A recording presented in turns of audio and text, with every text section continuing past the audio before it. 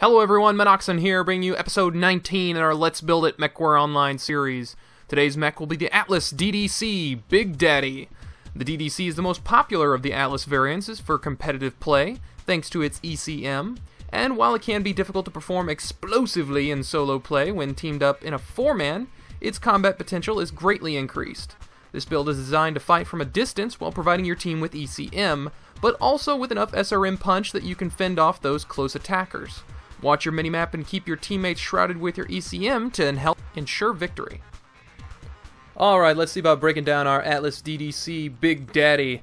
You're moving at a speed of 52.6 kph. You are a 100 ton assault mech, the biggest that there is. You have a firepower of 52, a heat efficiency of 1.19, so watch it if you fire all of your weapons together. Armor of standard, uh, 528 points there, and we have endo steel structure. For weapons, we have three SRM4s, one AMS, two large lasers, and two Ultra AC5s. We have 13 double heat sinks with a standard 325 engine and Guardian ECM. For our modules, we have advanced sensor range, target info gathering, advanced zoom, and advanced seismic sensor. Now let's look at the loadout. In the right arm, we have a large laser and one ton of our Ultra AC5 ammo. We have in the right torso two of our AC5 UAC5s. In the center torso, we have our standard 325 engine with two of three heat sinks hidden in there, with one ton of Ultra AC5 ammo. We have one uh, one ton of Ultra AC5 in the head. In the left torso, we have three SRM4s without Artemis, of course, uh, double heatsink, and Guardian ECM. In the left arm, we have our anti-missile system, large laser, UAC-5 ammo, and AMS ammo. In the leg, we have 2 tons of SRM ammo and 1 ton of SRM ammo. Uh, so I believe total here, with this ton here, I believe we have 5 tons of UAC ammo total and 3 tons of SRM ammo total, along with 1 ton of AMS.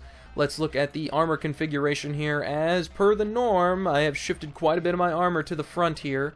Uh, we only have 15 on the back. You are welcome to shift a little bit more back and forth depending on how uh, how uh, quick you can get turned around and prevent them from coring you out.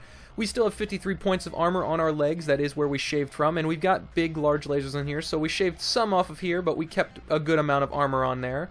A little bit more than on our legs. So they will have to chew on you for a while before they get rid of that ammunition, or and yeah, the ammunition that's in your arms and legs. In the upgrade tab, we have standard armor endo steel structure for an extra 5 tons, uh, double heat sinks, and we have standard guidance on our missiles. And that should just about do it. Let's see how it did. So now we have played for an hour, and a link to the first drop in the playlist for Big Daddy, the DDC, will be in an annotation on the Spinning Atlas. Feel free to check out all the available ride-along videos, and then come back for the stats breakdown, or keep watching and then go for those videos later. Now for the performance. We played 9 matches in the hour, we won 3 and lost 6, giving us a win ratio of 33.3%. We scored 5 kills with 4 deaths, leaving a kill death score of 1.25 with 44 assists. Our total damage for our matches was 3,871, which averages out to 430 damage per match. Now for the final thoughts. While I only managed a 33% win ratio, I feel that a good part of that was my own fault. So what could I have done better? Well, be sure to watch that mini-map. You need to be very positionally aware of your team and the enemy team as well. You'll want to keep your ECM alive and active for as long as possible to shroud your teammates. And also use those UAC 5s to shake up the enemy. If you see someone sniping, then use those cannons to drive them back under cover. Remember that your arms are low slung in position far apart, so try to use them only in opportune moments. It will take some getting used to, and speaking of getting used to something, then you'll need to practice leading your targets with those SRMs in your left torso. Well, I hope you guys have enjoyed this build. Have fun out there, Mech Warriors, and I will catch you in the next episode of Let's Build It. If you have a suggestion for a future episode, be sure to leave a comment below and maybe your idea will make it into a video. Thank you all for watching. If you enjoyed this video and would like to see more like it, then be sure to subscribe. Also, if you can take a second, hit that like button, that always helps. I'll catch you next time, Mech Warriors. Minoxen out.